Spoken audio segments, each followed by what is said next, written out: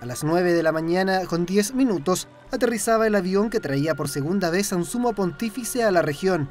Al aterrizar, un sonriente Papa Francisco se daba tiempo para saludar a las autoridades y niños del coro pertenecientes al movimiento crucista que lo esperaban para recibirlo, a quienes abrazó uno por uno en su camino hacia la alfombra roja, una agenda de actividades que convocó a miles de peregrinos que iniciaron una vigilia pasada la medianoche para esperarlo. ¿Vale la pena la espera? Mucho, no, una experiencia única esta. Así la primera fila lo tiene al frente. Qué mejor, sí. No, ya mi segunda oportunidad, estuve en Torvergata también, muy cerca también del altar, así que bien. Sí. Al llegar al ex aeropuerto Maquehue, Francisco abordó el papamóvil desde donde recorrió las 19 parcelas que albergaron a los más de 200.000 peregrinos que llegaron hasta el sector para compartir la misa con el líder de la Iglesia Católica. Celebración en la que el pontífice citó a Violeta Parra para describir la situación actual que vive la región. Esta tierra, si la miramos con ojos de turista, nos dejará estasiados pero si nos acercamos a su suelo, lo escucharemos cantar. Y cantar con tristeza.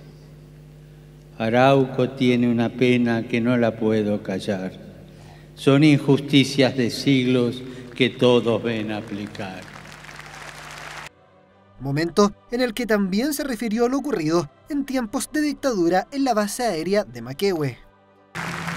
En este contexto de acción de gracias por esta tierra y por su gente, pero también de pena y dolor, celebramos la Eucaristía. Y lo hacemos en este aeródromo de Maquehue, en el cual tuvieron lugar graves violaciones de derechos humanos. El líder de la Iglesia Católica recalcó que la unidad de los pueblos es la forma para lograr el reconocimiento de cada uno de ellos.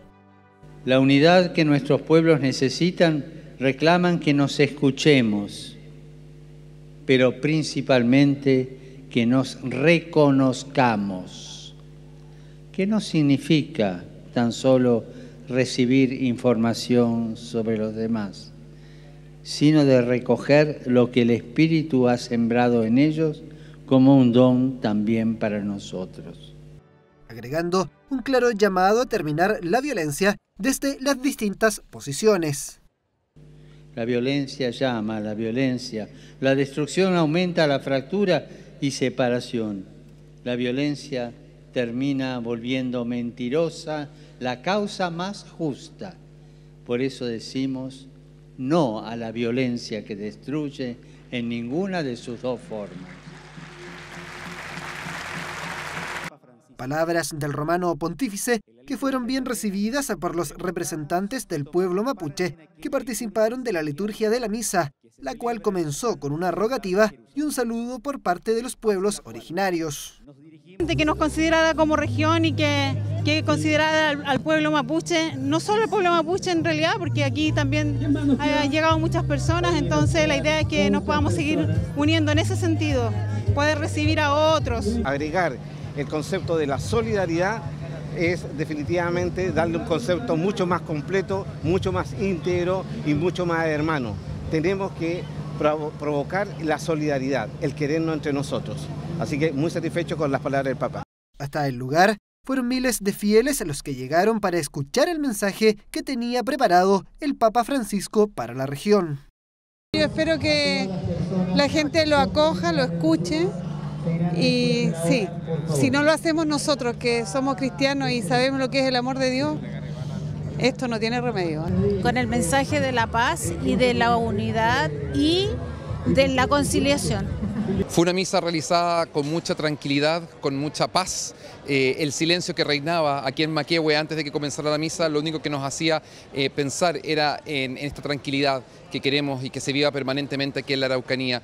Un mensaje muy bien construido, un rechazo categórico a la violencia, pero al mismo tiempo un llamado a mirar la realidad de nuestros pueblos originarios, a mirar su situación, muchas veces su desesperanza. Es un mensaje muy potente, muy claro, diciéndonos no más violencia, queremos paz, dejen las divisiones en el pasado y creo que habló con mucha profundidad, también tirándonos la oreja porque necesitamos a nuestro pueblo originario respetarlo, escucharlo, valorarlo y darle el espacio que se merece. Este desafío de unidad no es uniformidad, sino que reconocernos, es darnos cuenta de nuestra diferencia y nuestra tremenda potencia cuando nos unimos. Y reconoce también en la región esta tremenda riqueza natural. Y por último, el tema de la violencia, donde él es muy claro respecto a que ninguna causa, ninguna justifica la violencia. Entre los peregrinos se encontraban sus pares argentinos, quienes no se sorprendieron de las palabras del pontífice, ya que aseguran mantiene el mismo carácter desde cuando era arzobispo de Buenos Aires con el mejor, mensaje de cordialidad, de paz, de mucha paz que el Papa siempre lo está este, diciendo, lo está vociferando y bueno, que también nos viene bien a nosotros los argentinos. Uno de los invitados a la misa que causó revuelo entre la prensa fue el obispo de Osorno, Juan Barros, quien fue interceptado por los medios para ser consultado por su presencia en el lugar una situación que molestó a algunos prelados. ¿Es, es, pecado estar cercano a una persona? Aquí eh, lo que lo acusan de que él vio cosas, de que él avaló cosas y que él escondió cosas, y eso no es verdad. Una visita que según los expertos ha sido la más compleja de realizar para el Papa Francisco por la situación de conflicto que vive actualmente la región. Yo diría que es una de las visitas más complejas, sí, sí. Acá el tema toca eh, a la iglesia chilena y lo toca también a él, ¿no es cierto? Entonces es un tema eh, complicado, eh, bueno, por, por todo lo que sabemos, el contexto de una iglesia que ha caído en imagen, que ha caído en fieles, el problema de la pedofilia por parte de miembros del clero que ha golpeado muy fuerte.